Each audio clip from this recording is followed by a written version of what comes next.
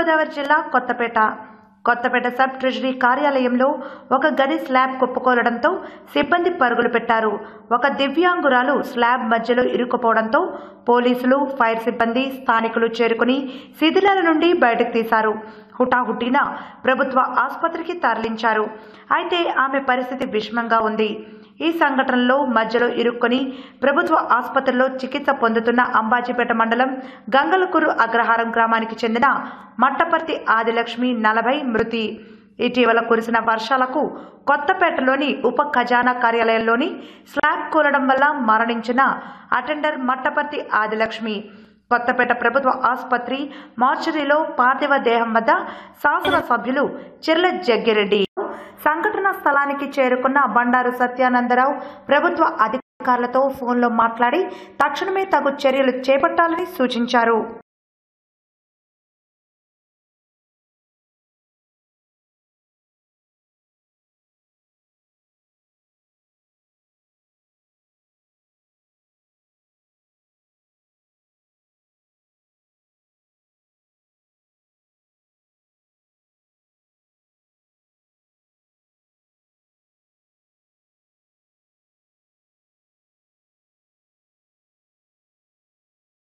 శ్రద్ధ ఇక్కడ ప్రభుత్వ కార్యాలయాల మీద మీకు లేకపోవడం ఈ ఆంధ్ర రాష్ట్ర ప్రజల యొక్క దురదృష్టం అని చెప్పి మనం చేస్తూ ఉన్నాం. ఇప్పటికన్నా చంద్రబాబు నాయుడు గారు కళ్ళు తెరవండి. ఇట్లాంటి బిల్డింగుల్లో ఏదైతే మరి ఉద్యోగం పట్టు చేతి పట్టుకుని ఉద్యోగాలు చేస్తున్నారో వారికి భద్రత కల్పించే కార్యక్రమం చంద్రబాబు నాయుడు గారు చేయాలి. మరి ఆయన విమానాల టూర్లకి ఆయన వాస్తులకి లేదా ఆయన ఒక ప్రస్తుతం హైదరాబాద్లో ఉంటున్న హోటల్ బిల్డింగ్కి ముప్పై ముప్పై కోట్ల రూపాయలు నెలకు కట్టేటువంటి ఆయన కనీసం ఒక్క పాతి లక్షలు ముప్పై లక్షలు పెడితే ఇవాళ ఒక హ్యాండిక్యాప్డ్గా ఉన్నటువంటి ఒక అమ్మాయి మరి ప్రాణం మరి మిగిలి ఉండేదని చెప్పి ఈ సందర్భంగా మనవి చేస్తున్నాం. అలాగే ప్రభుత్వానికి సంబంధించిన సంబంధించినటువంటి నిధులు ఇసుక మీద వచ్చిన నిధులను కూడా ఈ నియోజకవర్గంలో ఖర్చు పెట్టకుండా దాన్ని పోలవరం సాగుతో మరి చంద్రబాబు నాయుడు గారు చేస్తున్న అవినీతికి తరలించేటువంటి కార్యక్రమం ఈ జిల్లాలో జరుగుతుంది. అలాగే సిఎస్ఆర్ నిధులు ఓఎన్జీసీ నుంచి కానీ గేల్ నుంచి కానీ వచ్చే సంస్థల నిధులు కూడా ఇవాళ కొత్తపేటలో ఎక్కువ ఎక్కువ ఇక్కడ ప్లాంట్లు ఇక్కడ ఉన్నటువంటి సైట్లు ఇక్కడ ఎక్కువ పెట్టి ఇక్కడ డ్రిల్లింగ్ చేస్తున్నారు ఓఎన్జీసీ వాళ్ళు వారి నుంచి వచ్చేటువంటి నిధులు కూడా ఈ కొత్తపేట నియోజకవర్గానికి ఇవ్వకుండా వాటిని కూడా పట్టుకెళ్ళి ఎక్కడైతే మంత్రుల హామీలు లేకపోతే సాగర్ సంబరాలు అని చెప్పి మొన్నే జిల్లా కలెక్టర్ గారు మూడు కోట్లు ఖర్చు పెట్టారు. సాగర్ సంబరాల కార్యక్రమం పేరు మీద. ఇక్కడ కాకినాడ పక్కన సంబరాలకి మూడు రోజులకి మూడు కోట్లు ఖర్చు పెట్టారు. ఇట్లాంటి కార్యక్రమాలకి వృధా ఖర్చులు చేస్తున్నారు తప్ప శాశ్వతమైన కట్టడాల మీద ప్రభుత్వం దృష్టి పెట్టకపోవడం వల్లే ఇటువంటి దౌర్భాగ్య పరిస్థితులు వచ్చాయని చెప్పి మేము మనవి చేస్తున్నాం. మరి ఎవరైతే మరణించారో ఆదిలక్ష్మి కుటుంబాన్ని ప్రభుత్వం తక్షణమే మరి ఆదుకోవాలి. ఆమెకు ఎక్స్గ్రేషియా మంజూరు చేయడం కానీ మంజూరు చేయడమే కాకుండా ఆమెకు పూర్తి భద్రత మరి ఆ కుటుంబం నుంచి వేరే వారికి కామర్షియల్ గ్రౌండ్స్లో మరి ఉద్యోగం ఇచ్చే కార్యక్రమం కానీ లేదా వారికి మరి ఆ కుటుంబానికి మీ యొక్క ఎక్స్గ్రేషన్ ఇచ్చేటువంటి కార్యక్రమం తప్పనిసరిగా మరి ప్రభుత్వం చేయాలని చెప్పి మేము డిమాండ్ చేస్తున్నాం YSR Congress party thank you ఎంతో పేరు ప్రఖ్యాతులు గాంచినటువంటి సబ్ ట్రెజరీ ఆఫీస్ కొత్తపేట.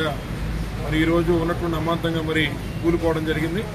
ముఖ్యంగా అందులో పనిచేస్తున్నటువంటి మట్టపర్తి ఆదిలక్ష్మి అనేటువంటి ఎంప్లాయీ హ్యాండిక్యాప్డ్ ఎంప్లాయీ మరి నిండు ప్రాణాలు ఇవాళ పోవడం చాలా దురదృష్టకరం. మేము అందరం సుమారు ఎనిమిది మంది ఆఫీసర్లు ఇందులో పనిచేస్తుండగా మధ్యాహ్నం సమయంలో అదృష్టం వాళ్ళు కొంతమంది భోజనాలకు వెళ్ళడం వల్ల మిగిలిన వాళ్ళ మధ్య తగ్గారు కానీ లేకపోతే మొత్తం అందరూ కూడా ఇవాళ చనిపోయిన పరిస్థితి ఇక్కడ చూస్తుండే వాళ్ళం ఏది ఏమైనా ఈ యొక్క సబ్ ట్రెజరీ ఆఫీసు బ్రిటిష్ కాలంలో కట్టినట్టు కట్టినటువంటి నాటి నుంచి మరి సుమారు రిపేర్లు కూడా నోచుకున్న పరిస్థితి ఇవాళ కొత్తపేటలో ఉంది. సుమారు ఐదు సంవత్సరాల నుంచి ఇది సౌండ్ సర్టిఫికేట్స్తో మరి ప్రభుత్వానికి నివేదికలు పంపించినా ఈ ప్రభుత్వానికి ప్రభుత్వ ఉద్యోగుల పట్ల కనీస గౌరవం లేదు.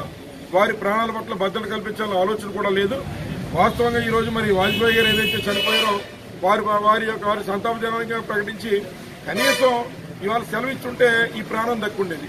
మొన్నటికి మొన్న మరి ఏదైతే సెకండ్ సాటర్డే రోజున ఈ ప్రభుత్వం ఆర్భాటాల కోసం కొంతమంది పిల్లల్ని మరి గోదావరి దాటించే ప్రయత్నం వరదల సమయంలో చేసి మొన్న కొంతమంది పిల్లల్ని పట్టును పెట్టుకున్నాడు ఈ ముఖ్యమంత్రి నారా చంద్రబాబు నాయుడు గారు. మరి అటువంటిది సుమారు ఐదు సంవత్సరాల నుంచి సౌండ్ సర్టిఫికేట్స్తో పాటు పంపిస్తున్న మరి ఈ ప్రభుత్వం ఎక్కడ కూడా వారికి చెల్లడం లేదు. ఇప్పుడు అడుగుతుంటే అబ్బాయి ఏడు లక్షల రూపాయలు రిపేర్ల నిమిత్తం మేము శాంక్షన్ చేసామని మాట చెప్తున్నారు. అంటే బిల్డింగ్ కూలిపోతుంటే వీళ్ళు రిపేర్లకి డబ్బు పెడతారా? కొత్త బిల్డింగ్ మంజూరు చేయాల్సిన పరిస్థితుల్లో వీళ్ళ బిల్డింగ్ సమయం మేము రిపేర్లు శాంక్షన్ చేసినటువంటి కుంటి సాకులు చెప్తూ ఉన్నారు. ఈ ప్రభుత్వానికి ప్రభుత్వ ఉద్యోగుల పట్ల ప్రభుత్వ ఉద్యోగుల ప్రాణాల పట్ల ఉన్నటువంటి చిత్తశుద్ధి ఏంటో తెలుస్తోంది.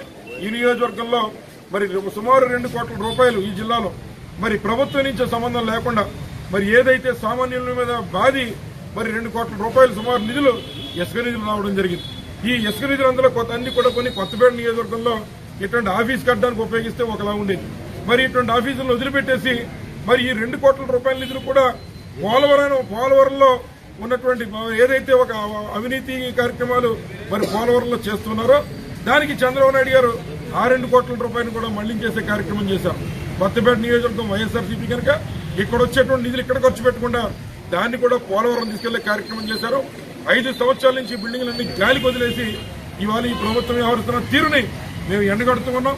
ఇప్పటికైనా ప్రభుత్వం కళ్ళు తెరిచి ఏదైతే వండదు ఇటువంటి బ్రిటిష్ కాలంలో నిర్మించేటువంటి భవనాలు ఉన్నాయో వాటిని ఇమీడియట్గా వెరిఫై చేయించి కొత్త కట్టడాలు కట్టే కార్యక్రమం చేయాలని కోరుతున్నాం ముఖ్యమంత్రి గారు వాస్తు పోలేదని కేవలం వాస్తు కోసం హైదరాబాద్లో వంద కోట్లు ఖర్చు పెట్టి మళ్ళీ మళ్ళీ ఆయన కేసీఆర్ గారు ఒక ఓటు నోట్ల దొరికిపోతే మళ్ళీ ఇక్కడికి విజయవాడ వచ్చి ఇక్కడ మళ్ళీ బిల్డింగ్లు కడుతున్నాడు ఒకటి రెండు.